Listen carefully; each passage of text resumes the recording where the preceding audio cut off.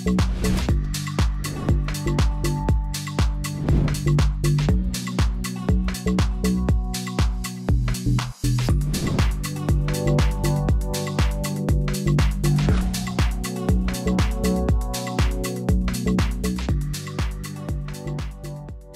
work for an organization called REACT Africa, that is Action on Antibiotic Resistance. It's an organization that was formed in uh, 2014. That's when we started the, uh, the African regional um, branch. It was established in 2005 to focus on uh, the problem of antibiotic resistance and to try and um, bring to light that it was a major public health issue there were lives that were being lost because uh, most of the bacteria that we're dealing with uh, developed resistance uh, to the antibiotics that we have.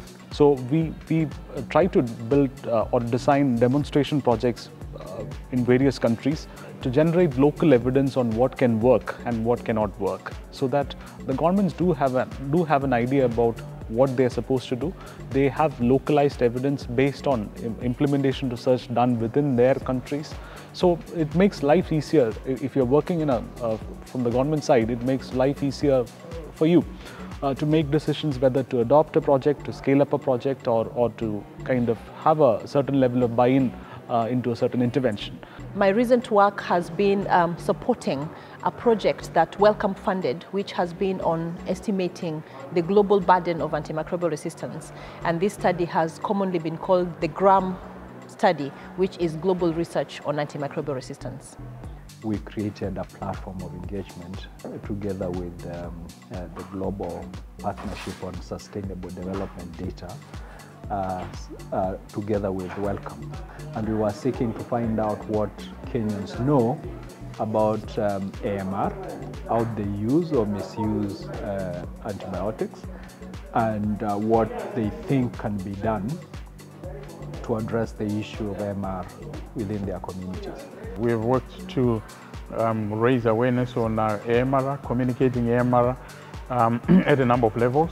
And um, we are working with, with a, a, lot of partners at the moment.